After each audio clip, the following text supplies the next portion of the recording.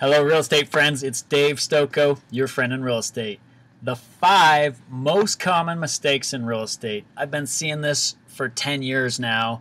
Hey, do me a favor subscribe right now so that this great content comes to you and everyone else.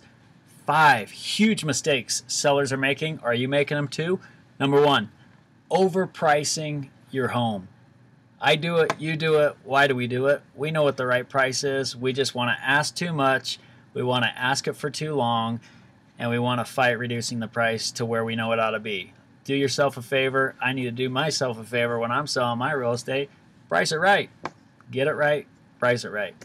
First, most common mistake. I see it day in, day out. So do you. Second, not getting the home market ready. Do you know how many homes I've walked through that I'm like, what are you thinking? I mean, the place looks horrible. You got to declutter, you got to deep clean, get rid of all your personalized stuff, and get that house staged and ready to sell. It's got to be market ready. This is a competition. You're got you're trying to sell your home. You're competing against other homes. It's got to look good. You got to be market ready. Third, looking through rose-colored glasses. What do I mean by that? Hey, we all think that our home is the best thing out there, right? Better than every home in the neighborhood. Got all the upgrades that no one else has. Bigger, better. I don't know why we do it as owners. I do it, you do it. We think our home is bigger, better, and we just don't look at it for what it is. I'm sure our homes are nice. I'm sure your home is nice. But look at it as a buyer might look at it. See the weaknesses, see the shortcomings, also see the strengths, of course. But your home's not perfect. Come on. My home's not perfect. There's no perfect home out there. Recognize their shortcomings. And so we've got to be realistic. We've got to look at our homes objectively because that's how buyers are going to look at them too, right? Fourth, talking buyers out of the sale. What do I mean by this? I'm talking about going through the house with the buyer and showing them every little detail of your home and telling them the five minute story behind it uh, when I have owners walk me through their homes, I'm just blown away sometimes. Uh, I'm, I'm, thinking to myself, I hope they don't show the home to a buyer that way, but yet I see it happen. So you don't need to walk them through and show them every closet, everything. Let, let that buyer walk through your house. Stand back, walk them around, sure.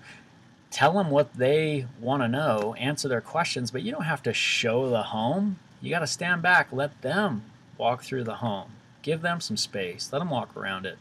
Uh, be there to answer their questions, but you don't have to tell them everything about the home. And then you start telling them about the neighbors and you know the friends next door and everything else, and and you start talking too much and saying too much. You're going to talk your buyer right out of a sale. So agents, we certainly got to do it. You as homeowners got to do it. We got to shut up and stop talking and start listening to what these buyers are saying and what they're interested in, right? Fifth common mistake I see it happen when an owners do choose to list with a real estate agent, they hire the absolute wrong agent. Who's the wrong agent? Wrong agent is a friend that you feel obligated to list with because he's your buddy or she's your buddy. Uh, it's the family member who you really don't want to hire, but you just feel like that relationship is going to get ruined if you don't hire them. Or it's just hiring the most convenient, easy agent that's there right now, and so it's easiest to sign. Do yourself a favor, interview for that job. This is a big position. You're potentially investing a large amount of money in getting those services. Make sure you do your homework Find out who you're talking to, interview three or four good agents, find a referral, get a reference, and don't just feel like you've got a list with somebody because they're a friend or a family member. Everybody knows an agent. If you can avoid yourself these five common mistakes, you're going to save yourself a ton of time, pain, and trouble.